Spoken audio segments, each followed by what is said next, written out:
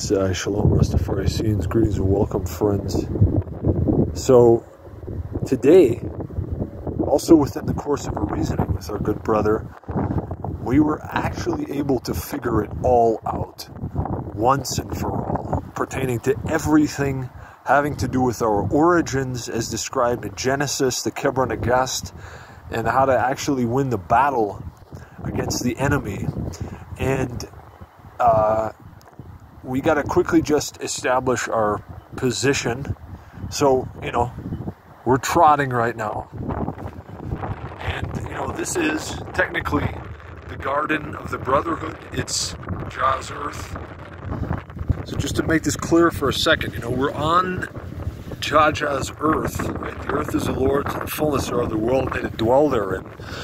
That is technically the same earth plane as even when the Garden of Eden was just created 7,516 years ago approximately. Oh, so, so the reason why I'm pointing that out is because though the, the general course of events or what is recorded in the Holy Bible from chapters uh, 1 to 3 especially, you know, where the Garden of Eden is the place where we're at, and then the disobedience of Adam happens, the goddamn devil, goddamn him, and all that.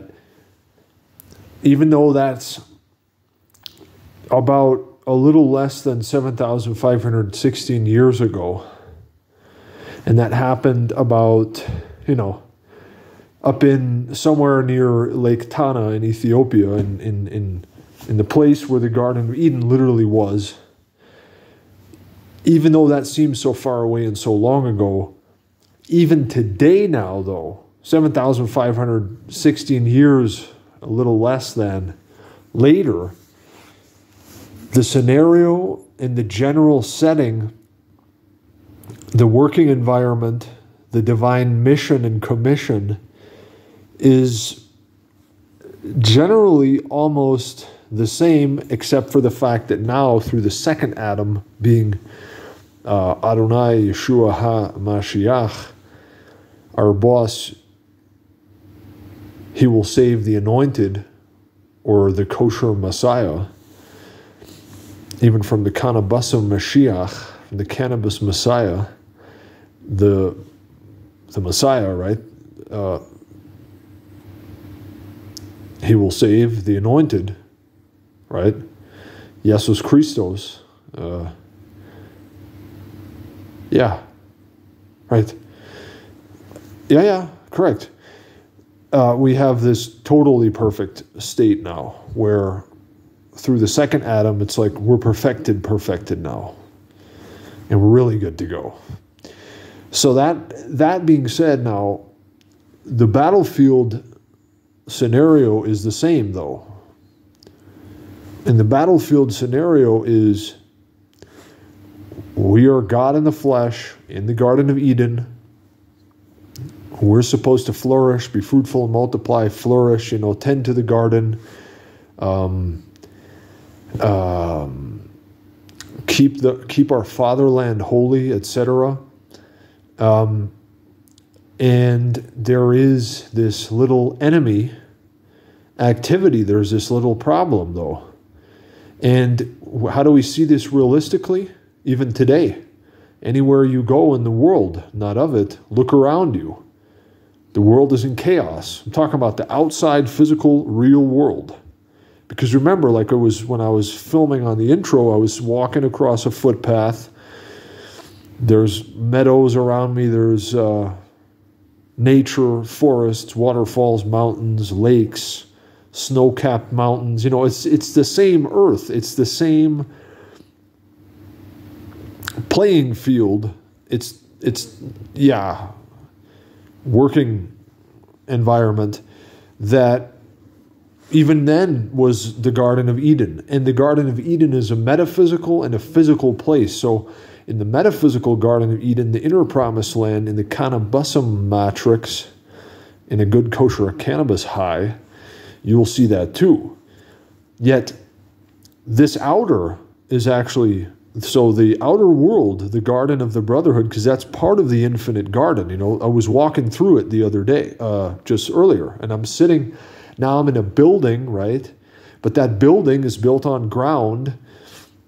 There's concrete, but the ground is still the same earth. That's also the same earth that you know makes up the the garden and the Garden of Eden and the Garden of the Brotherhood, the the entire world in a general sense so now the the task is actually to destroy the enemy who is causing problems in the Garden of Eden. Did you know that the mission of Adam is like God became Adam? Actually, Adam is God made manifest on a mission to destroy the enemy and to tend to the garden and like work the garden and, and, and we're also created for his praises. The purpose of life is to hallelujah and to be happy, of course. So there's a, there's this mission that we have as humanity that's that's recorded, that's known from ancient times that very few apparently even remember and know about. Like what is our mission? Did you know that we were created in the image of God and after his own likeness? That we are literally the manifestation of God in the flesh? And that there's a divine mission to destroy the enemy, to actually remove Satan because of his pride, and for us as uh, humanity or Adamic humans to flourish. Okay, now that I've talked about that, we should talk in, about something that's happening right now that's actually extremely relevant as to what exactly is this devil or this Satan that's causing problems in the Garden of Eden, in other words, on our earth plane in this world, what is this enemy activity that's causing problems? And how is the satanic agenda that we see from the Kebra Nagast and the, in Genesis, how is that now in a modern form of expression within this sort of an alien agenda that is coming to light in the most normal and mainstream so called of media channels, like with the UFO whistleblowers coming out and, and reporting things. Okay, so um, number one, the uh, the enemy is actually already annihilated and destroyed through the great work performed by our boss. Yeshua Ha Mashiach. He will save the anointed. Purification and anointing. Anointing having to do with the Messiahing oil, the holy anointing oil, and the holy incense mixture in the holy temple of Jerusalem being comprised of different spices, including one particular ingredient, a kosher plant called Kanaman Basum. These things are as simple as follows It's as if you receive the Messiah, you are saved through the anointing because of the Kanaman Basum ingredient in the holy anointing oil and in the Ketoret, in the uh, incense, or in the Shemen HaMishchah, the Messiahing oil. So that's actually how it works. So the kosher Messiah comes from the kosher Kanaman Basum. That's actually what it is. The Merkaba, or what's called the chariot for the Mashiach, is actually in the kosher Kanaman Basum. It's that simple. And it's fact. We also know that the goddamn enemy has no power whatsoever. It says in the Kebra Nagast that the enemy, or Satan, cursed be he, hellfire burn him for eternity, um, has no power whatsoever except to cause a bad idea to flourish. That's all. This is what they call bad mind. Fireburn bad mind. I have good mind right now, I'm just saying. Um, so, knowing that, you see how the enemy is totally failed. The enemy, the devil, Satan, cursed be he, cannot do anything whatsoever. Nothing. Has no operational capability. Cannot push, cannot seize nothing. The only thing that the devil can do is cause a bad thought. That's all. That's all that that's it. So now with discipline of the mind, right? Discipline of mind is a basic ingredient of genuine morality and therefore of spiritual strength. In order to achieve this great aim, man must be guided by Ritua Hymenot, living faith, an excerpt from His Imperial Majesty's speech on religion. With discipline of the mind and a good medi, in our sword, even perhaps like our Aki had said, today, um, I and I. Oh, what was it? Something along the lines of um, I and I with I and I flaming swords, burning each and every way.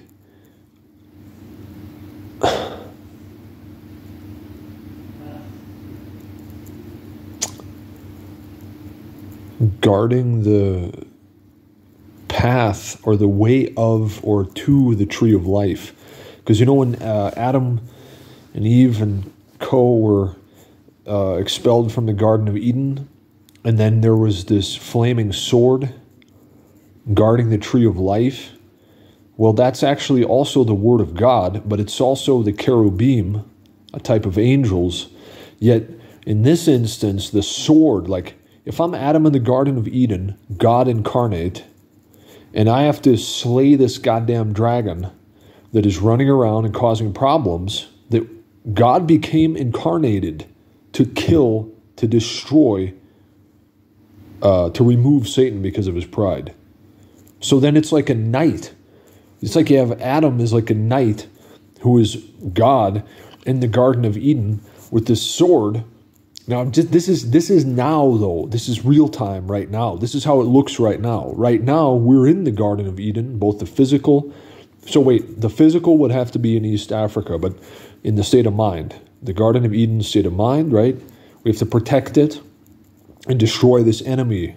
So we're like we're in this Garden of Eden uh, of the Brotherhood, the world, right? Not of it, and we're using that sword, the two-edged, sharpest two edged sword, the Word of God.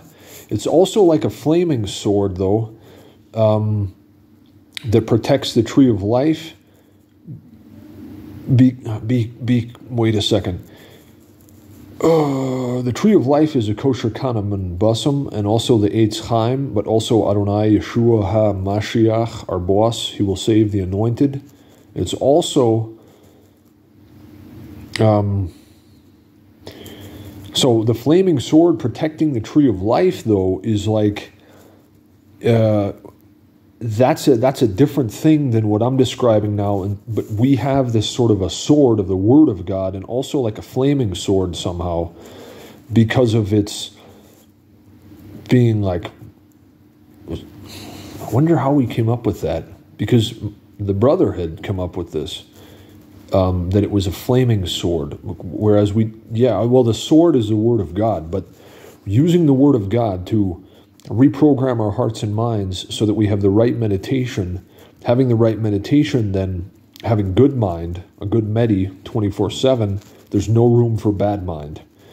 So then it's like the devil has been destroyed because there's nothing, he, he can't do, he's not doing anything, he's not working at all because all he can do is cause a bad thought to flourish. So therefore, if you have good mind and a good medi 24-7, you know, thank and praise Jah, um, ask and receive, right? Read Psalms, uh, Jah Jireh, Jah provide. You know, you're doing this all the time. You're reprogramming your heart and mind. You have a good medi. It's like everything is good. There's no enemy activity, and the enemy is, is doesn't even exist. You can't do anything. But the but the problem is that as soon as you step out into the world and not of it, if you look at the world today, there's even people that dress up like the devil. There's even, you know, there's a bunch of different stuff going on. The uh, satanic agenda, the alien agenda, the um, deceptive agenda of the enemy, you know, it's all over in the world. You can see it all over the place if you have knowledge and wisdom. Yet, how do we destroy that? Because now it's like technically, though there's the metaphysical Garden of Eden and the physical Garden of Eden, the world actually, like if I walk outside right now, it's technically also, you know, it's another area of the garden. And there's stuff going on there, and there's an enemy operating there too that has to be destroyed. But how do you do that?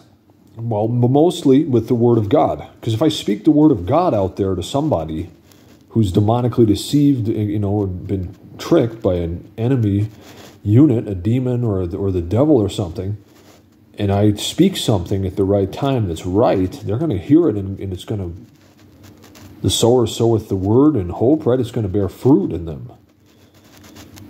Um, but the, the problem is, there isn't really a problem, it's a mindset.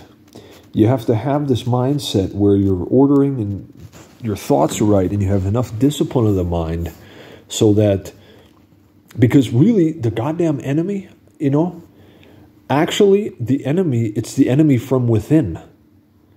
In other words it's it's your thoughts because angels are thoughts in also in hebrew.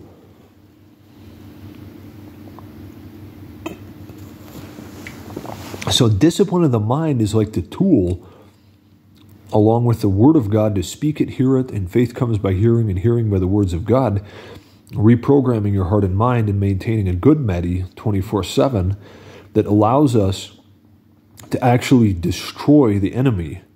But now that's on a personal level. That's like within our heart and mind. That's like a, on a personal level.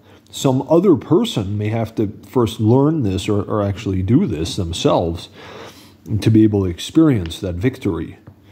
Yet, if we can do it, we can also see to it and tend to the garden and and because the garden is big, you know, it's big. Like it's the it's the whole world.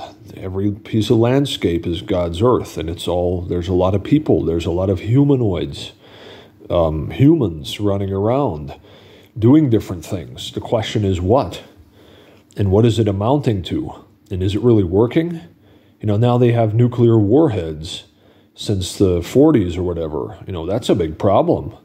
Is that really going to work out in the long run? Is that going to produce, you know, world peace? Are you going to see world peace come from the UN, how they're working right now? You think that's, you know, you see the news every day, what's going on? There's something going on. There's an enemy out there. There's a goddamn enemy that has to be destroyed.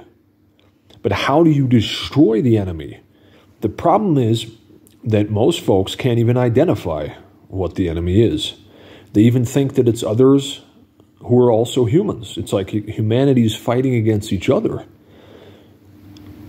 Now we know there's the seed of the woman and the seed of the serpent within the human race. You have Abel and Cain. Cain went to, to the goddamn Anunnaki, man. And woman of God, do you know that Adam and Eve's first son, uh, second, uh, one of the one of their first sons, one of their two first sons, one of them went to a city called Nod this is right in the Garden of Eden. They just got in the Garden of Eden, right? Where the hell did that city come from? And who the hell was living there? It's the goddamn Anunnaki. Cain went to the goddamn Anunnaki and Nod. It's in the Torah, man, and woman of God. It's in Torah portion Noah coming up like in three Shabuas now. In three weeks, fire burn a week. Be I strong. Uh, so there's those two different lines, but the majority of humanity is fighting against each other because of the enemy activity that is manipulating them to fight against each other, but the, most folks don't even know who the goddamn enemy really is. We know who the goddamn enemy is. It's the devil. But it's it's hard to understand. What you have to actually know is what exactly and who exactly the enemy is and then how the enemy operates and what the enemy is ultimately capable of, or rather incapable of, so that you know the operational capacity of the enemy so you can destroy the enemy based on, like, okay, this enemy unit has this type of weapon and can do this, so we would have to deploy this weapon to blow the hell out of them and eliminate them. Well, it's discipline of the mind. But, but where it becomes even more interesting is the fact that most people actually are seeing a so called um, unexplained, sort of a strange thing happening nowadays where a lot of the UFO, ET, alien abduction f- stuff, fire burn it, hellfire blaze. You know, the the whistleblowers in the media testifying before Congress.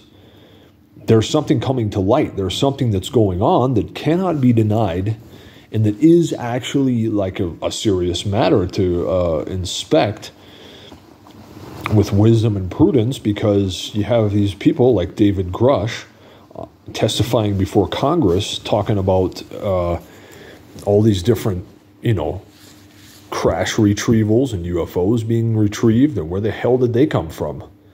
They weren't built, they weren't made in the USA, that's for sure. And, and, and, and it goes on. And then there's more that comes to light. And now, when people start actually taking real legal action, like the one named Dr. Steven Greer, talking about um, how they're taking legal action to uh, uh, uh, uh um, to like prosecute these different companies that are uh, involved in some kind of illegal